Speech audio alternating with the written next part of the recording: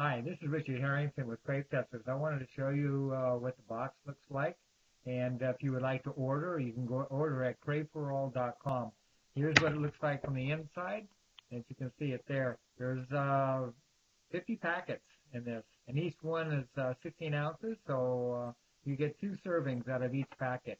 I thought I'd want to show that with you, so now you don't have to just look at the picture. You can see the actual box and everything. It's pretty fancy and this is the top, and this is a display box that you can take the whole box off, the, t- the top and everything, and display it just like this in a store or something. If you wanted to go to a store and display it in a store, if you get the permission, they'll they'll take it up and they'll set it up for you like that. So then you can uh, uh, work out a deal with the store. So thought you'd like to have a, have a look at it, and if you're interested, get back with me. CraveForAll.com. Thanks. Bye.